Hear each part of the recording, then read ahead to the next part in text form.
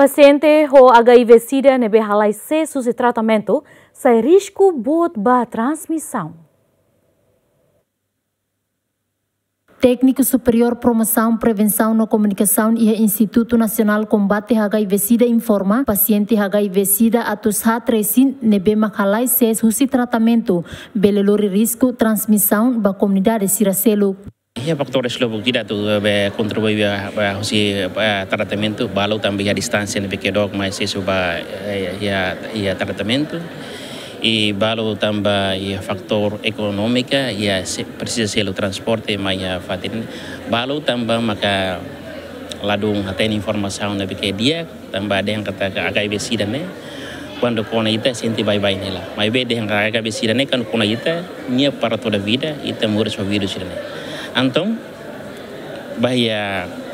Comunidade sida bah todo tem ser prevenan usi mor tamba sira na peki apa nado hela. Idane maka lori lori virus ne transfer hela ba fazer mai bem ita esforço serviço parte do todo esforço para o ensama embesa ne bele fila fali mai tratamento Coordenador Serviço Saúde Município Dili Husuba Pessoal Saúde Sira atula bele halo discriminação hasoro paciente HIV Sira Bem, tu pesquisa não vem aqui, até haturu kata 44% estima discriminação no meio pessoal de saúde.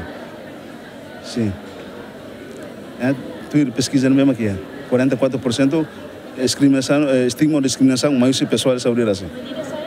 Na fata ita faz na fata informação masira kata é mana be afetar homora saga besira hane somos ita hane somos moros tensão bem nebe ita label diskriminasira ita label hatet sira